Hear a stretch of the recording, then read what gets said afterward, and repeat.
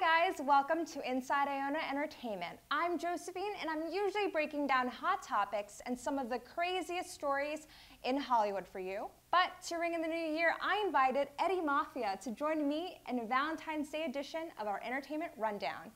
Welcome. Thanks for having me. Tuesday, January 23rd saw the announcement of the 2018 Oscar nominations. The awards were announced by Academy President John Bailey alongside Tiffany Haddish and Andy Serkis. The Shape of Water earned itself a Best Picture nod and is the most nominated film of the year, with 12 in other categories. Christopher Nolan's Dunkirk also on the top of the list, alongside Three Billboards in Ebbing, Missouri. Historical dramas were also popular with the Academy this year, and Darkest Hour, The Post, and Mudbound were also nominated. Three fan favorites made the list with Lady Bird, Call Me By Your Name, and Get Out, each earning themselves a nod on the Best Picture list. These last three speak to diversity with Get Out tackling racism, Ladybird celebrating female relationships, and Call Me By Your Name sharing a story from the LGBTQ community. Could this be a response to the Oscars So White hashtag that went viral last year? Katie Mulligan spoke to our student population about who would take home the award. Hey there, Iona. I'm Katie Mulligan with ICTV, and today I'll be getting students' opinions about the 90th Oscars. Today I'm here with Chelsea. How are you doing, Chelsea? I'm good. Good. Um, now, what year are you, Chelsea? I'm a sophomore. You're a sophomore. Now, tell me, Chelsea, do you plan on watching the Oscars this year? Um, probably. Probably? Yeah, do you know any Oscar nominated films? Uh, I really have high hopes for Get Out. What was your favorite scene in Get Out? I heard there's two uh, different endings to the film. Did you hear about that? Yeah, I did. Now, tell me, which ending did you see? The cop car where his friend comes out, or when the police officer comes out? Uh, the cop car. The cop car? So you hope that uh, Get Out will hopefully get some nominations and hopefully win this year at the Oscars? Awesome. Now tell me, do you think Harvey Weinstein will make a guest appearance this year at the Oscars? Ugh, I hope not. so I'm here today with Simone. How are you, Simone? I'm pretty good. How are you? I'm doing all right. Now tell me, Simone, are you planning on to watch the Oscars this year?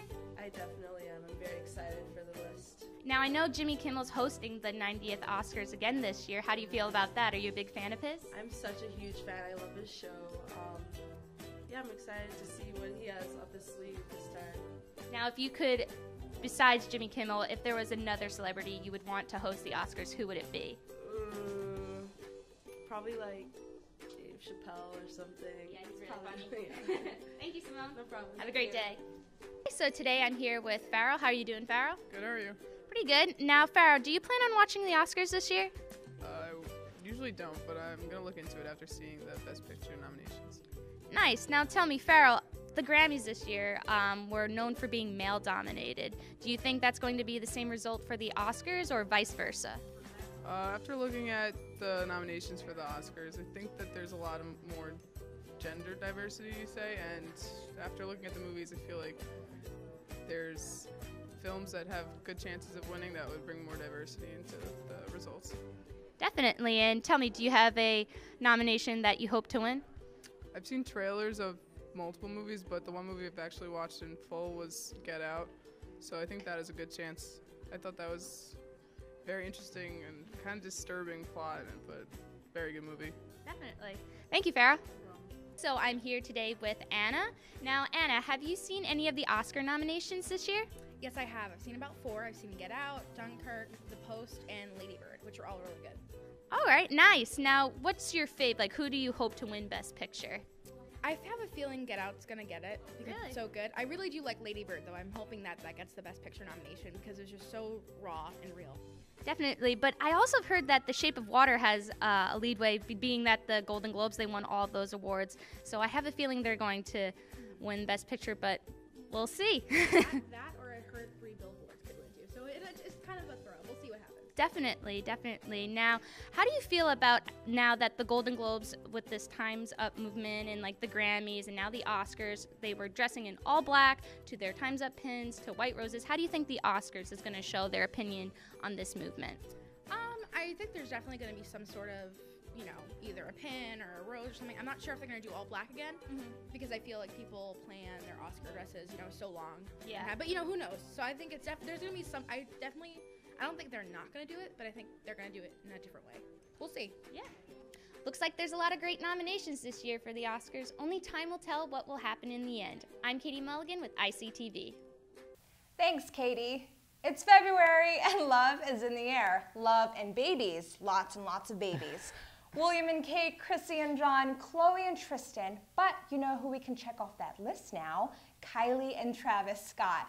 Earlier this month, the youngest of the Kardashian clan revealed her pregnancy through an emotional video after leaving fans skeptical for months. She's not the only one in her family that was busy, though.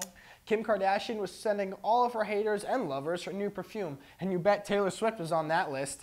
She celebrated Valentine's Day a little bit early this year with the launch of a new collection of perfumes called Kimoji Hearts. And it sold out within a matter of days. For some, it has been a great year, but less so for others. We have fallen in love with celebrity couples, and sadly, we had to see some of them come to an end. Eddie and I will take a look at these lovebirds in our first ever celebrity makeups and breakups. First, the makeups. At the top of our list is Miley Cyrus and Liam Hemsworth. After breaking off their engagement in 2013, Miley and Liam are back on again. A source tells people, quote, Miley is beyond happy to be engaged to Liam again. We could not be more happy for the couple, and it certainly makes our rom-com dreams come true, at least mine. We have to admit, Kristen Bell and Dax Shepard have great chemistry, but long before they became one of the most admirable couples in Hollywood, they did briefly split because Shepard admitted he wanted to date other people. Bell tells Pop Sugar, quote, I always remind him of when he broke up with me. Tough love. Yeah, absolutely. After eight years of marriage, Chris Pratt and Anna Faris called it quits. Guardians of the Galaxy actor filed for divorce from Faris back in December, citing irreconcilable differences as the reason behind his decision. Pratt took to Facebook with a heartfelt message, quote, we still have love for each other, we'll always cherish our time together, and continue to have the deepest respect for one another. The couple share a five-year-old son. Nice guy. Modern Family star Julie Bowen has separated from her real estate investor husband after 13 years of marriage. Exact details have yet to emerge, but People magazine has confirmed their split. They have three children together. 13 years is a long time. Long time. Inside Iona is excited to announce a change to our format. We will now be producing separate videos for separate segments, so be sure to click through in the playlist to watch the next one. Thanks for joining us on this very special edition of Entertainment News. I'm Josephine. And I'm Eddie.